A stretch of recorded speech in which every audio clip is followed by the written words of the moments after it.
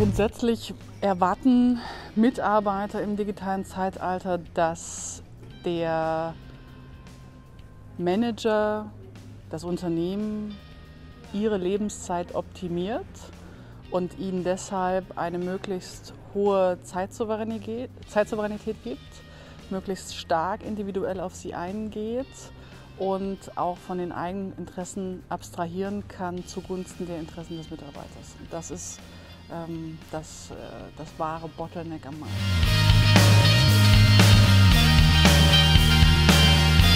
Unternehmen stehen an dem Punkt, wo sie erkannt haben, dass sie einen Modernisierungsdruck haben, aber sie wissen momentan nicht, wie sie von A nach B kommen.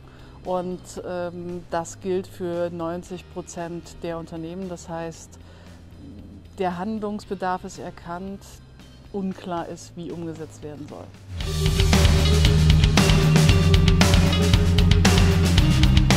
Grundsätzlich müssen wir aus meiner Sicht weg von dem Konzept der Regulierung hin zum Konzept der Befähigung. Zudem würde auch eine Ergebnisorientierung statt einer Prozessorientierung helfen, dem Mitarbeiter im Unternehmen auch eigenverantwortliches Handeln, selbstbestimmtes Handeln zu ermöglichen. Aus meiner Sicht muss Bildung ein zentrales Thema werden, das bei der Bundesregierung liegt.